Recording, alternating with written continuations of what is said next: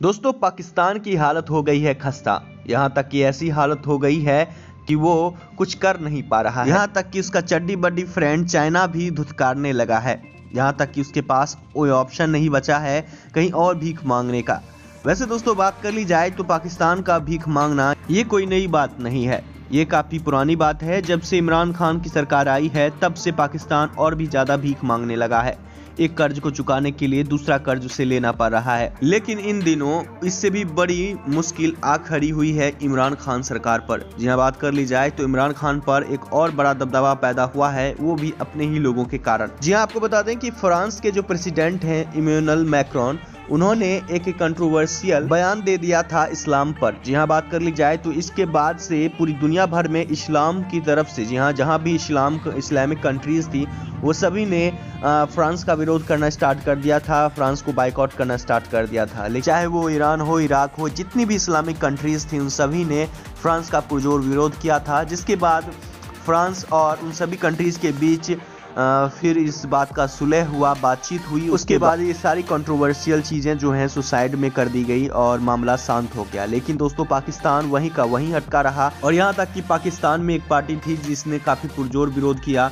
इमरान खान सरकार नहीं चाहती थी कि वो विरोध करे क्योंकि आपको बता दें कि फ्रांस से पाकिस्तान ने तकरीबन ग्यारह दशमलव चार या पाँच बिलियन डॉलर जी हाँ ग्यारह दशमलव चार या पाँच बिलियन डॉलर पाकिस्तान ने लोन ले रखा है। जब दुनिया भर में आईएमएफ के द्वारा भी जब लोन देने से मना कर दी जाती है किसी कंट्रीज़ को, यानी कि ऐसे हालात हो जाते हैं कि किसी कंट्री का इकोनॉमिक का क्राइसिस से जूझ रहा होता है और उसमें कोई भी कंट्री से किसी भी तरह का लोन कर्ज देने से साफ़ इनकार कर देता है तो ऐसी स्थिति में जब आईएमएफ भी इसे किसी भी तरह का कर्ज देने से मना कर देती है, तब वो जाके पेरिस क्लब जो कि फ्रांस की है, उन्होंने पाकिस्तान को लोन दिया था, तकरीबन ग्यारह दशमलव चार बिलियन डॉलर का 11.4 बिलियन डॉलर का है, और ऐसे में पाकिस्तान उस लोन को चुकाने में फ़िलहाल सक्षम भी नहीं है। बात कर ली जाए तो वहीं दूसरी तरफ़ पाकिस्तान में फ्रांस के जो प्रेसिडेंट हैं इम्यूनल मैक्रोन, उनका पुरजोर विरोध किया जा रहा है। और बात कर ली जाए, ये कहा जा रहा है कि आप फ्रांस के एम्बेसडर को वापस फ्रांस भेज दीजिए। जी हाँ। यानी उनका ये कहना था कि फ्रांस के साथ आप सारा रिलेशन ख़त्म कीजिए और फ्रांस के साथ हमारा कोई भी रिलेशन नहीं रहेगा। और फ्रांस के एम्बेसडर को वापस भेज दीजिए। लेकिन इमरान खान, अभी उनकी हालात ऐसी नहीं कि वो फ्रांस के एम्बेसडर को फ्रांस वापस भेज दें। अगर फ्रांस के एम्बेसडर को वापस फ्रांस भेजते हैं तो इसका मतलब है कि फ्रांस से उनका सारा रिलेशन ख़त्म हो जाएगा। वैसे आपको बता दें कि फ्रांस बीटो पावर से लैस यूएनएससी का परमानेंट मेंबर है। और ऐसे में फ्रांस के साथ अगर पाकिस्तान का रिलेशन खत्म होता है तो ऐसे में पाकिस्तान को काफ़ी बड़ा नुकसान उठाना पड़ जाएगा। और ऐसे में हाल ही में इतनी हालत भी नहीं है पाकिस्तान की कि वो फ़िलहाल फ्रांस का कर्जा भी वापस कर सके। कर्जा भी चुका पाए। तो ऐसे में दोस्तों, अब इमरान खान सोच रहे हैं, इसके लिए मीटिंग बुला रहे हैं और बैठक कर रहे हैं। और यहाँ तक कि वो पार्टी जो कि फ्रांस के प्रेसिडेंट इमरान मैक्रोन का विरोध कर रही थी, उसके मेंबर को, जो लीडर था, उसको जेल में यहाँ तक डाल दिया गया, उस पार्टी को बैन कर दिया गया, फिर भी हालात सही नहीं हो रहे हैं। तो दोस्तों, इस तरह की सिचुएशंस बनी हुई है। और ऐसे में फ्रांस के साथ पाकिस्तान अपना रिलेशन ख़त्म नहीं करना चाहता।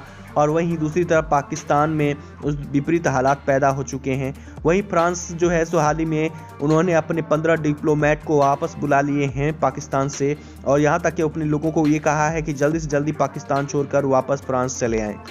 यानी कि पाकिस्तान और फ्रांस का जो रिलेशनशिप है वो टूटने के कगार पे है। तो दोस्तों, इस तरह के हालात पैदा हो गए हैं। वहीं इमरान खान सरकार फ़िलहाल कर्ज चुकाने में सक्षम नहीं है और वहीं उसे कोई कर्ज देने को तैयार नहीं है। यहाँ तक कि उसका चड्डी बड्डी फ्रेंड चाइना भी उस पर ऑलरेडी चाइना ने बहुत सारा कर्ज पाकिस्तान को दे रखा है और पाकिस्तान को अब वो भी कर्ज नहीं देना चाहता। तो ऐसे में पाकिस्तान मुँह बाए बैठा हुआ है कि आगे वो क्या करे।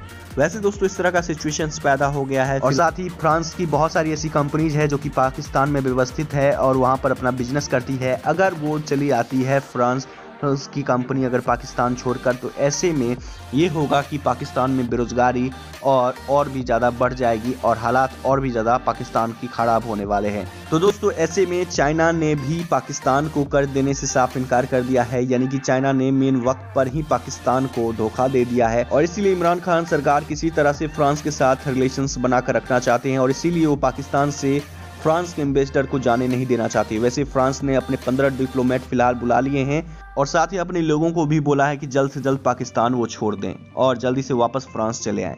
तो दोस्तों, इस तरह से अब पाकिस्तान की हालत पतली हो गई है। वैसे दोस्तों, ये पाकिस्तान को काफ़ी करारा और तगड़ा झटका लगा है उसके चड्डी बड्डी फ्रेंड की तरफ़ से और उसके अपने लोगों की तरफ़ से। वैसे दोस्तों, बात कर ली जाए तो आपका क्या कहना है? इस पर आपका क्या रिएक्शन है? नीचे कमेंट्स में अपनी ओपिनियन ज़रूर शेयर कीजिए। साथ ही दोस्तों, अगर आप इस चैनल पर नए विजिटर हैं तो चैनल को सब्सक्राइब कीजिए और संग साथ बने रहिए।